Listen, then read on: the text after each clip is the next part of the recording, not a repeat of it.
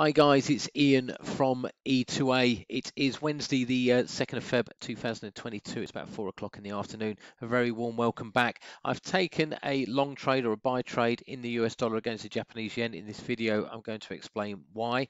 Uh, I've also got some potential setups in the CAD crosses. Now we've seen a move to the downside in the Canadian dollar. This was after OPEC Plus increased by 400,000 barrels a day uh, and the lower uh, prices that we've seen in oil have also driven CAD lower. But I think that's going to be temporary. I've got some nice setups to uh, potentially buy uh, the uh, Canadian dollar. So let's get to the charts first.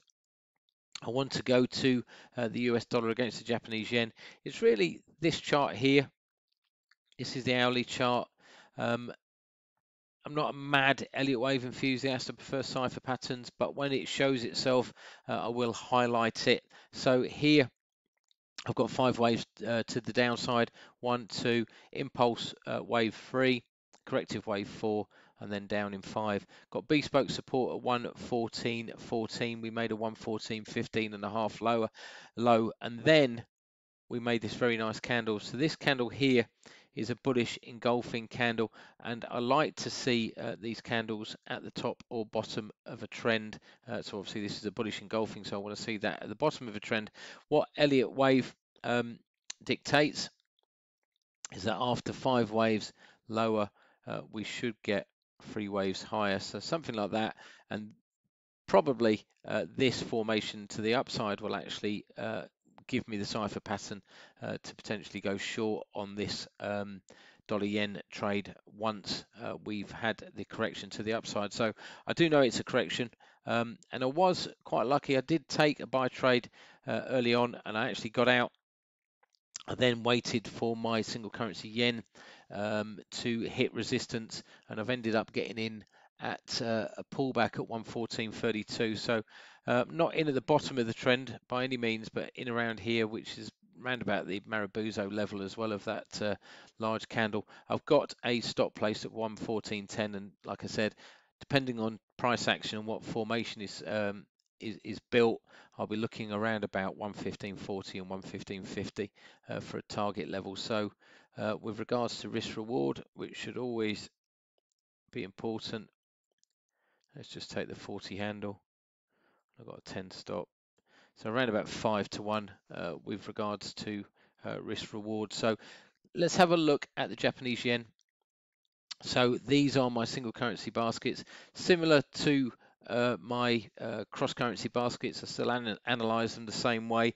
Uh, the dotted lines are bespoke support and resistance levels. So you can see here, this was bespoke resistance. Now that hit at three o'clock. So even though dollar yen gave us a, a bullish outside candle before uh, this uh, completion, when it hit, that's when the dollar yen was moving lower and that gave an opportunity uh, to actually get a better entry in that US dollar against Japanese yen long trade, uh, hence being in um, at, at 114.32. Um, Canadian dollar, let's have a look at CAD. So we have been uh, moving lower uh, since that announcement but I've got two support levels down here. I quite like it when I get two support levels close together because it gives me sort of two windows of opportunity uh, to um, to buy this product. So, and I can always um, look at uh, the cross currencies, and if it hits this level, and I'm not quite at uh, the levels that I'm expecting on the cross currencies, then of course. Uh, I've got the option to wait until it hits this level. Uh, so the single currency charts are really working well for me at the moment. Let's have a look at the crosses. So here I've just got CAD and you can see that I've tagged um, four different crosses. Now, the reason uh, why they're all amber is because I haven't put my foot on the pedal yet. I'm not um, I'm not in on these trades, but they are forming quite nice patterns. Let's go back to uh, showing all the different time frames because it, you know, I'm not necessarily getting a one hour um, pattern. It might be a four hour pattern. It might be a six hour pattern, etc. And note that I haven't ticked any of these. So these crosses uh, I've got no interest in, but basically there's no there's no pattern building in those crosses, so uh, I'm, I'm leaving them well alone. Okay, the sterling against the Canadian dollar got a lovely cipher pattern here. Um, this is between uh, 172.70 and 172.74. So I will be looking for reversal formations just because it hits that level, uh, just because uh, the Canadian dollar might be at support. I need a reversal. I want to see one of those bearish outside bars. I want to see an evening doji star. I want to I want to have a candle where I know that if I place my stop above it, it's it's it's the right place to be. Uh, so just because I have that that level, it doesn't mean I'm automatically trading at that level. Uh, so 170 to 70, 172, 74, uh, the potential for sterling CAD completion of a bat formation. Uh, CAD yen, um, and basically this one is looking, actually looking at this time frame here. So we've got two uh, potential um, turnouts, if you like, or analysis. This could push lower as, as yen increases, but you've got to remember yen is actually decreasing at the moment. So what's driving this lower at the moment? Sorry to jump back onto the chart. You can see it is being driven lower, but what's driving that lower is not yen um, weakness.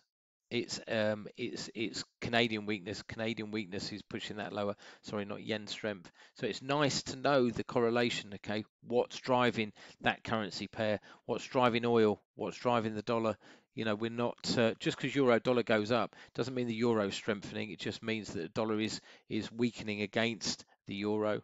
Um, so going to the one-hour chart, again, this might give us quite a nice setup here just for a correction to the upside, and that wouldn't spoil that pattern, by the way, in the eight-hour chart. It actually um, give it some benefit. So if we can get down to this sort of level, 89.72, then it's a really nice BC leg. BC legs at 88.6% of the AB leg. So if we put a retracement tool on there, okay, 88.6, and I've got my bespoke support at 89.71. So building that, the reasoning uh, to get long there, and like I said, this I believe is getting pushed lower my, my dollar yen is still holding up, so this is getting uh, pushed lower by uh, Canadian weakness that we're seeing in the cross currency, which we can see now.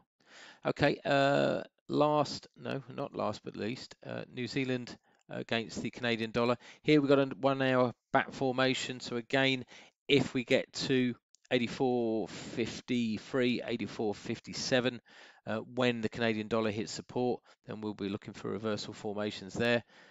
And then Aussie dollar. Not as nice, okay? It's quite wide.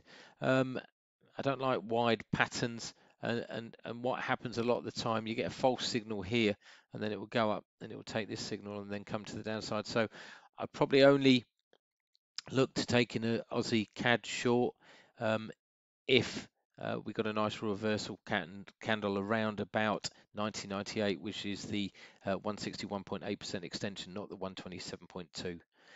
All right, guys, I hope that all that makes sense. So I'm carrying a, a, dollar yen trade at the moment. I'm looking at sterling CAD, CAD yen, New Zealand CAD, Aussie CAD. I won't take them all um, because I won't get signals in them all. Um, and I'll probably uh, look at what the other single uh, crosses or single currency baskets are doing at the time. All right, guys, good luck. Speak to you soon. Bye.